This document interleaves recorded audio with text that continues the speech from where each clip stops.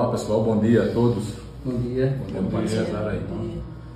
Deu hoje dia 14 de julho, já passamos da, da metade do ano, né?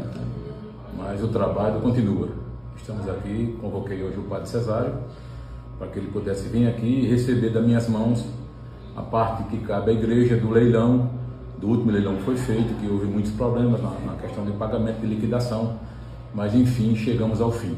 Né?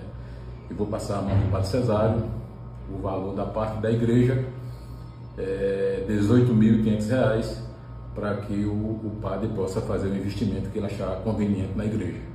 Depois, em outra oportunidade, é, convocaremos a irmã para ela vir até aqui da Mata Esperança para receber a parte dela também, que nós convocamos hoje, mas ela não pôde vir, que está com um compromisso marcado. É, convocaremos em outra ocasião para ela receber das minhas mãos o mesmo valor que estou entregando ao Padre Cesário.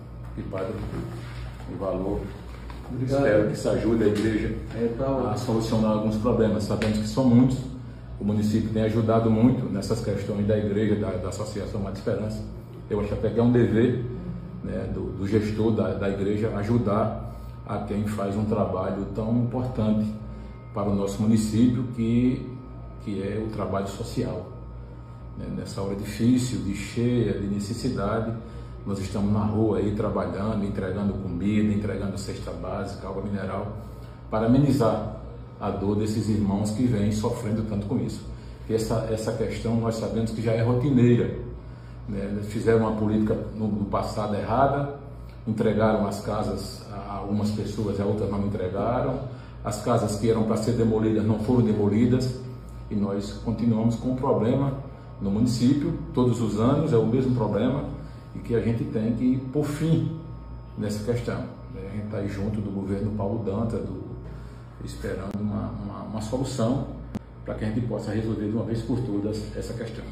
Nós agradecemos né, a participação, a colaboração, que se já está sendo esperado há muito tempo para justamente dar, darmos a entrada, ou vermos como será viável a compra do nosso carro, carro paroquial, não do padre, mas para a paróquia, para ficar a serviço como o prefeito mesmo afirma, a necessidade é grande do nosso município, a questão das estradas está a serviço do povo, não só o poder público, mas também o poder religioso, que justamente é a necessidade das pessoas de estarem perto de Deus, participando da Santa Missa, tendo os sacramentos, como por exemplo matrimônio, batizados, e a necessidade do nosso município é grande nesse sentido.